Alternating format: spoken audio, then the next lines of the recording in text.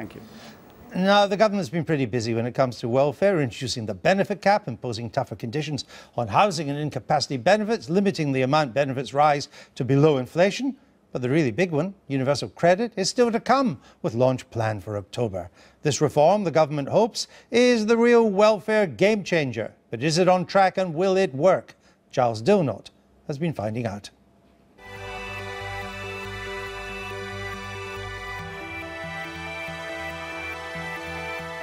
In the most ambitious change to welfare for 60 years, the government is attempting something new.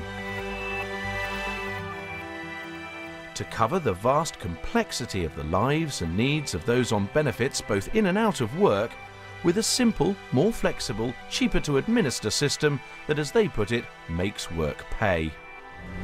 The government are taking income support, income-based job seekers allowance, income-related employment and support allowance, housing benefit, child tax credits and working tax credits, and rolling them all into one, universal credit. It gets paid monthly just so it mimics salaried work, and you get less the more you earn when you're in work. Politically, most people like the idea. It's doing it so it really works where the debate starts.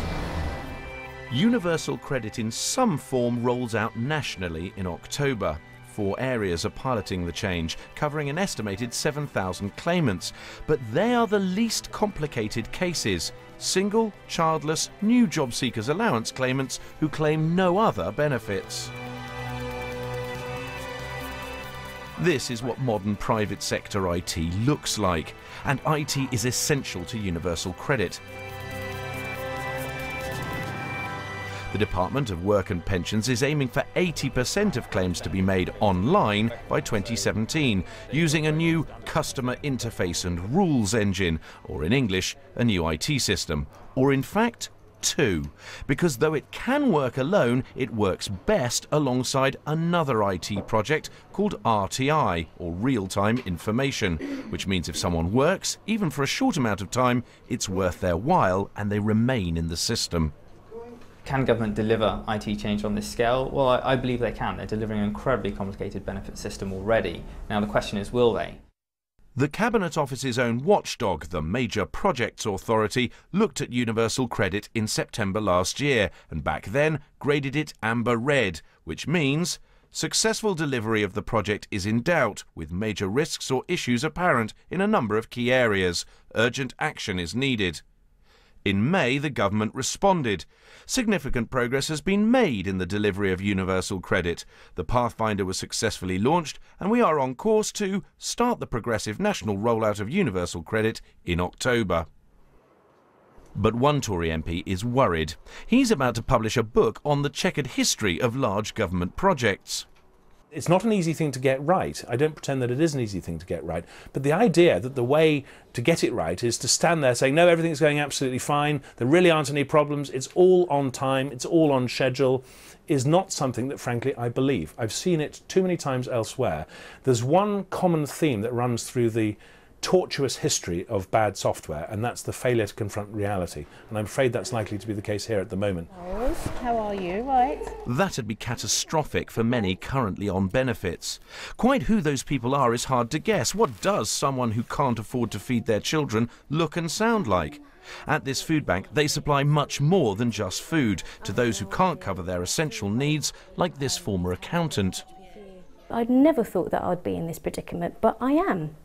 I mean, I'm, I'm sure there's other people out there who, who are in this um, situation but never dreamed of being in it. But the thing is, is how do you get out of it? And that's what I'm struggling on because I don't want to be in benefits. I want to go out and work. The situation that I'm in now stops me. In fact, exactly the sort of person the government designed universal credit to help. Um, nappies, baby food. So why doesn't she think being paid a lump sum monthly will work for people like her? What have they got to fall back on? They haven't got an overdraft because like example of myself, I did have an overdraft and I lived off of that overdraft and it's got so bad that I can't afford to pay it back. So yes, you get this money and what happens if, you know, for some reason or other, uh, you'd have to spend more than what you budgeted for for a, a week or so. Um, people are going to apply for crisis loans, and it's just going to get worse. The government insist they'll ensure no one falls through the cracks. But despite backing some of the aims of universal credit, food banks are preparing to help more people when changes come. Last year in 2012, uh, we looked after 153,000 people whose primary reason for needing the three days of food that we give them in the food bank was that there was a problem or a mistake or a change or a delay in their benefit payments. That's the current system. We're dealing with a significant change, a change in the whole way things operate.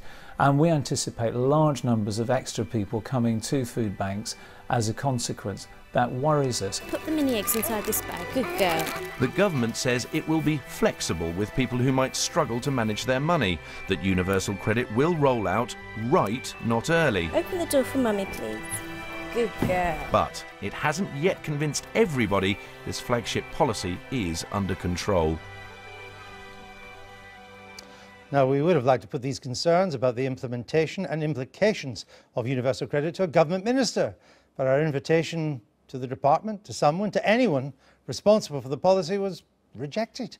We'll keep on asking because, as you know, we're not easily embarrassed by rebuttals and return to the subject in the weeks and months ahead. Now it's G8 time.